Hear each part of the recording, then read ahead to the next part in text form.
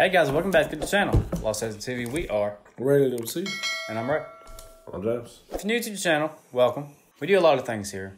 Mainly, it's a music and horror based channel. One thing that I specifically like to do, James as well, is review fan films. Mm-hmm. Because I feel like fan films don't get enough love. They don't. So yesterday I was watching this one. This one is called Saw Intoxify.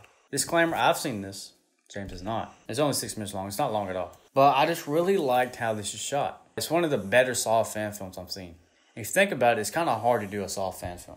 Yeah. It's not like you're like slasher. You, know. you, mm-hmm. you can make you can mold things around that. Yeah, this It's is very hard to do so. Yeah. Yeah. But I really enjoyed it. So I'm gonna get James's take on it, see if he enjoyed it. Maybe he'll like it, maybe he won't. But discuss at the end. Discuss with you guys. All right, let's see. Roll it. I just love the fucking cinematics right there, bro. That looks dope.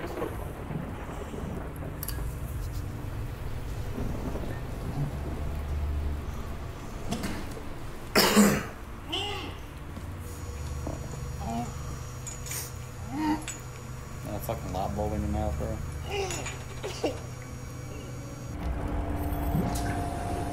That's not LED either. That's a hot bitch.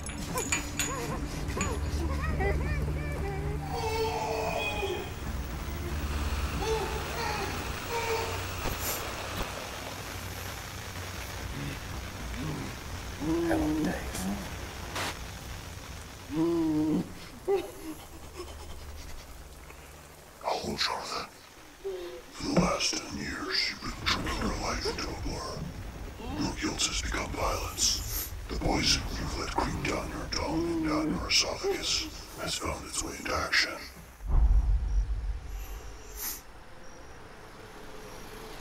Hey, do you think, uh, is there someone I can call? Can help you get home safe? You're the one who's gotta get home safe. Damn. Piss off, bro! You've forgotten your vows to your wife, dismissing the sacred symbol of love eternal as just another pocket trinket.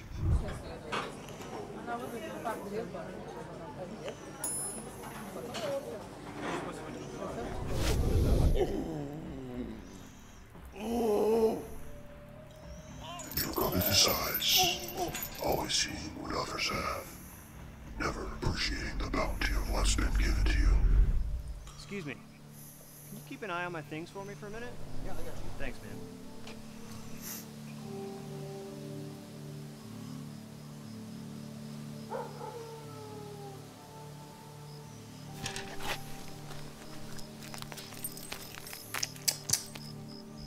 Should have known better. And drank his beer.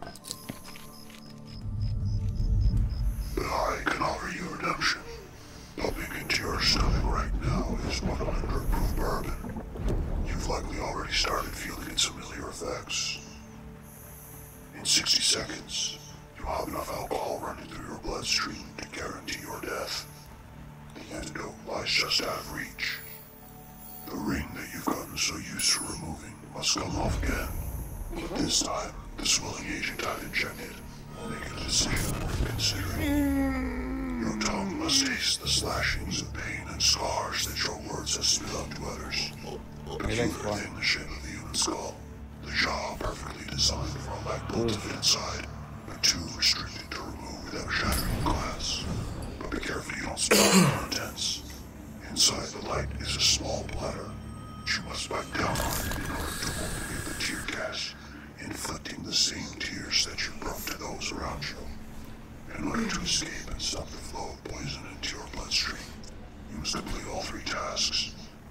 You pay the price for the crimes you committed, or you succumb to your inevitable fate. The choice is yours. Hurry up, Jonathan. Time is running out.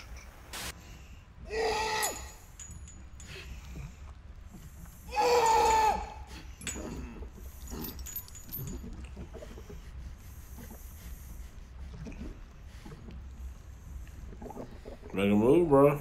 Yeah, I gotta do something.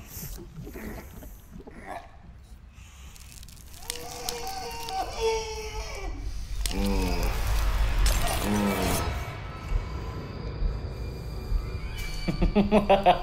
mm.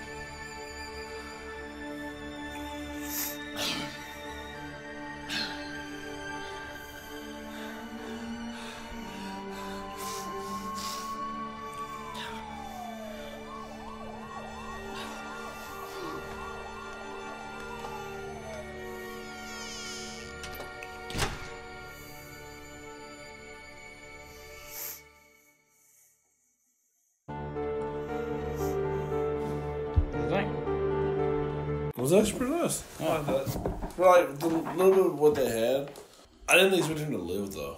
You did? But I think that would have probably played more factor if it was at the if the time limit was like running. I guess. There's actually things I caught the second time around I didn't catch the first time.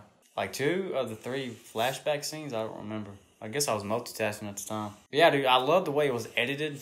Like especially like when he was in the trap about to do his shit. That editing was so Saw esque. Yeah, it Love was. that. Yeah, and the fucking finger peeling off and shit. Mm, That's brutal. I like the story too. Like he's an alcoholic. You know, he's hurt a lot of people. What does John Kramer do? He uses those staples of your wrongdoings and he flips it on you.